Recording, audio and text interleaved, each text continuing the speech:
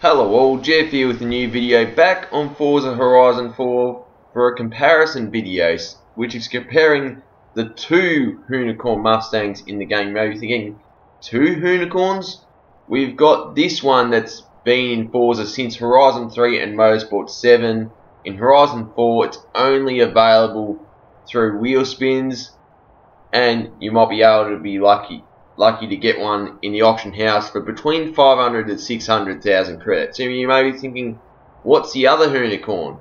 Well, the other Hoonicorn is pretty much the same car, another Hoonicorn V2, except it's just got the livery that it had when it was on Jim Gymkhana 10. Now, this car was only available through the um, November 2018 Spring Forzathon shop. However, you may be able to find some in the auction house. I just had a look. And there was one available for 11 million credits. So let's hope it pops up again. But yeah, what about the stats for these two Hoonicorns? Are they the same? Um, not exactly. The speed for the original Hoonicorn V2 is at 9.3, whereas the Gymkhana 10 version has a speed rating of 9.0. In terms of power, torque, weight, um, weight distribution, um, displacement of the engine, they are all the same. However, the original Hoonicorn has a slightly shorter first gear at 2.60, whereas the Gymkhana 10 version has a slightly longer first gear of 2.65. Now, how does that go on the racetrack? How does it compare? Well, to find out, I decided to go to the um, Lakehurst Forest Sprint, give the AI a minute, a minute head start, so I don't have to put up with them. So yeah, we'll see how the two Hoonicorns compare. The original on the left, the Gymkhana one on the right. Enjoy.